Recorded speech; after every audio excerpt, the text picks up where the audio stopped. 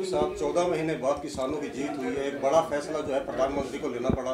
तो क्या लगता है इसके पीछे कहीं ना कहीं राजनीति है या किसानों के साथ कोई प्रधानमंत्री छलावा तो नहीं कर रहे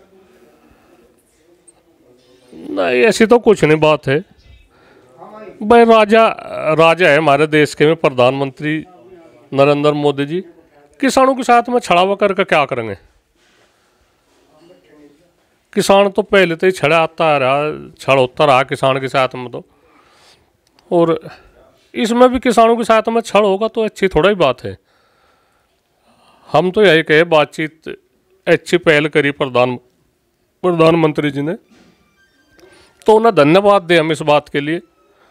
खैर एक साल का समय तो उन्होंने लगाया।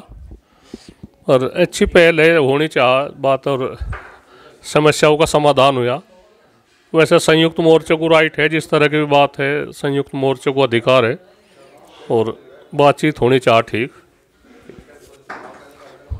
आगे की क्या रणनीति है? अब जिस तरीके से उन्होंने ट्वीट किया है राकेश राकेश टिकैत जी ने कि अभी धरना समाप्त नहीं होगा तो क्या रणनीति है? भाई देखो हम तो अभी खेत में तो आए। हम तो अचानक ही मालूम हुआ तो हम खेत में आए अपना काम धंधा कर रहे थे। तो ये देखा करेंगे बातचीत क्या होगी क्या जिस तरह का भी निर्णय लिया जाएगा ठीक ही लिया जाएगा। साहब जिस तरह से इलेक्शन नज़दीक है इलेक्शन से पहले इस तरह का निर्णय प्रधानमंत्री ने लिया है तो कहीं ना कहीं ये राजनीति से प्रेरित तो निर्णय नहीं है? नहीं नहीं राजनीति किसानों पर क्या राजनीति है? किसानों ने तो पहले सरकार बनवा दी थी भारतीय जनता पार्टी की। क्या सौ किसान जिनके शहीद होने की बात लगातार हो रही थी उनकी आत्मा को शांति मिलेगी? हाँ खैर एक तो बात है जो हमारे इस इतने बड़े आंदोलन में इतने लंबे समय के आंदोलन में 700 किसान शहीद हो गए। तो कहीं ना कहीं तो उनका उनका योगदान बेकार नहीं जाएगा। उनका जो ये बलिदान है उन्होंने जो अपने प्राणों की आहुति दे दी इस आंदोलन में तो उनका तो स्वर्ण अक्षरों में नाम लिखा जाएगा और अच्छी बात रहेगी। एमएसपी पर कानून बनाने की बात थी। अभी तक प्रधानमंत्री ने एमएसपी पर कोई बयान नहीं जारी किया देखो क्या होगी बातचीत भी तो वो उनकी भी कैबिनेट की मीटिंग बैठेगी, क्या होगी, कुछ ना कुछ तो तय हुआ होगा।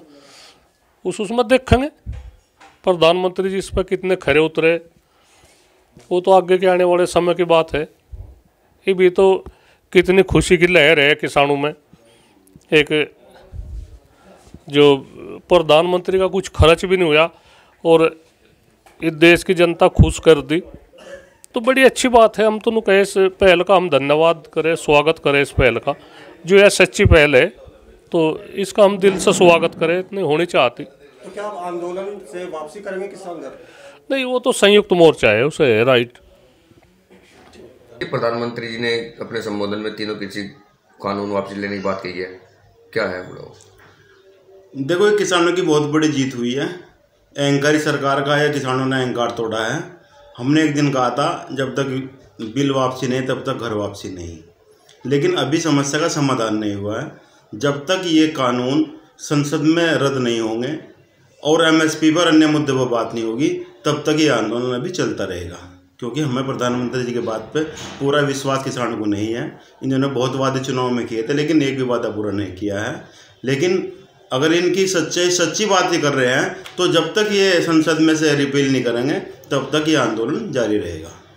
तो आंदोलन वापसी नहीं होगा? अभी आंदोलन वापसी नहीं होगा बहुत मुद्दे एम एस पी पर बात होगी अन्य मुद्दे पर बात होगी और जब तक ये कानून संसद में वापसी नहीं होगा जब तक ये आंदोलन चलता रहेगा। आगे की रणनीति?